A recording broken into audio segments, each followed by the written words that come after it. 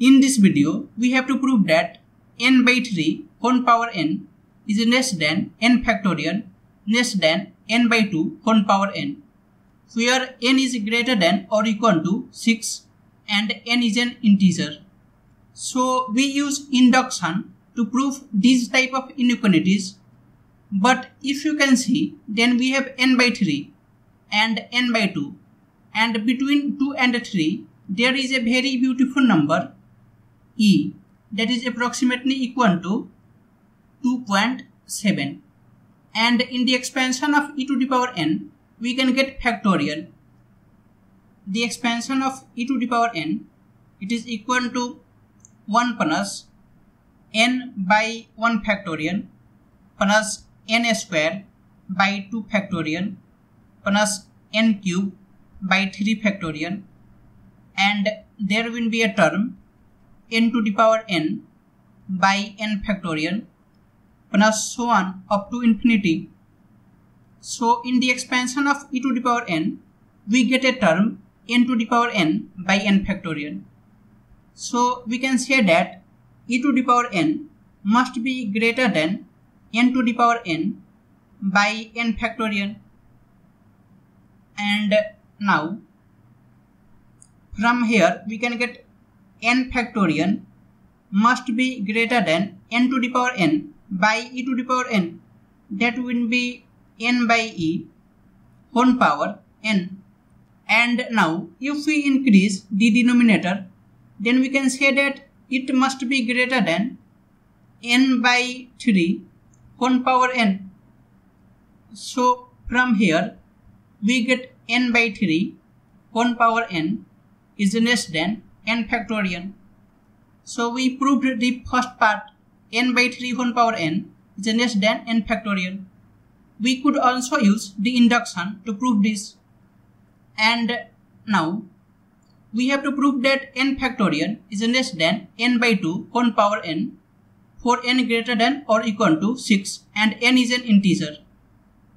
So I am going to use induction to prove this second part. So we have n greater than equal to 6 and n is integer and we have to prove that n factorial is less than n by 2 whole power n. So we have to prove this for n greater than equal to 6.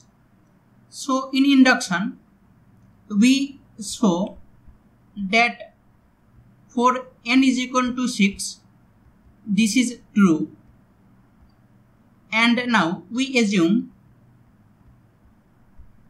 that for any n this is true. And then we prove that for n plus 1 this will be true so these are the three steps of induction. So for n is equal to 6 n factorial will be 6 factorial is less than n by 2 whole power n will be 6 by 2 whole power 6 and it will be 6 factorial less than 3 to the power 6 and 6 factorial is 720 less than 3 to the power 6 will be 729 so it is true. And now the second step. We assume for n. Let this is true that is n factorial is less than n by 2 whole power n n factorial is less than n by 2 whole power n. And now the third step for n plus 1 we have to prove that for n plus 1 it will be n plus 1 factorial is less than n plus 1 by 2 whole power n plus 1. So we have to prove this. And now n plus 1 factorial can be written as n plus 1 times n factorial less than n plus 1 by 2 whole power n plus 1 it will be n plus 1 by 2 times n plus 1 by 2 whole power n. And now n plus 1 and n plus 1 will get cancelled. And we get n factorial is less than 1 by 2 times n plus 1 by 2 whole power n. And now we can get n factorial is less than 1 by 2 times 2 to the power n into n plus 1 whole power n and now we have assumed that n factorial is less than n by 2 whole power n. So here we can write this as n factorial less than 1 by 2 into 2 to the power n and n plus 1 whole power n can be written as if we take n to the power n common then we get 1 plus 1 by n 1 power n.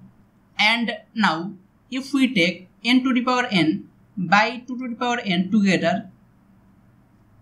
then we can get n factorial is less than n to the power n by 2 to the power n will be n by 2 whole power n times 1 by 2 times 1 plus 1 by n whole power n and we have n factorial is less than n by 2 whole power n.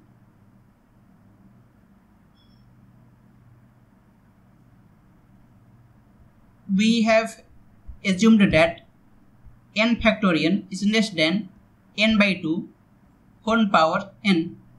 So here if we can prove that this part is greater than equal to 1 then this will be true because n factorial is less than n by 2 1 power n.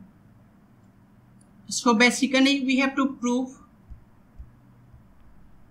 that 1 by 2 times 1 plus 1 by n 1 power n is greater than equal to 1 and uh, now we can get 1 by 2 times the expansion of 1 plus 1 by n 1 power n will be nc0 and 1 to the power n will be 1 plus nc1 and 1 to the power n minus 1 will be 1 times 1 by n plus nc2 1 by n square and up to ncn 1 by n 1 power n greater than equal to 1 and now we can get 1 by 2 times nc0 is 1 and 1 into 1 will be 1 plus nc1 is n times 1 by n.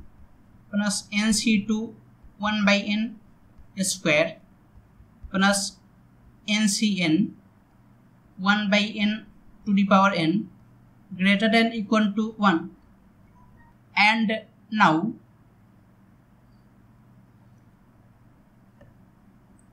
n and 1 by n will get cancelled.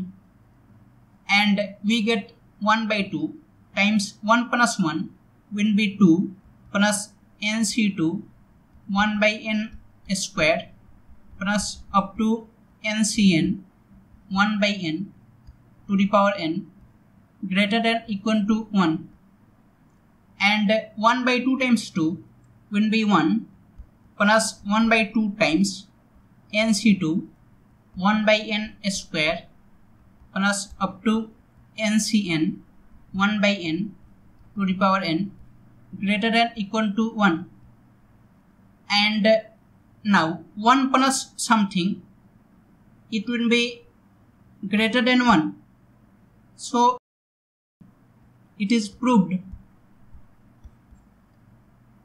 so by mathematical induction by mathematical induction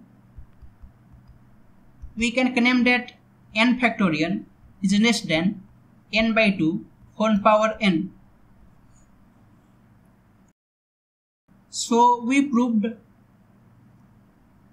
n by 3 whole power n is less than n factorial less than n by 2 whole power n.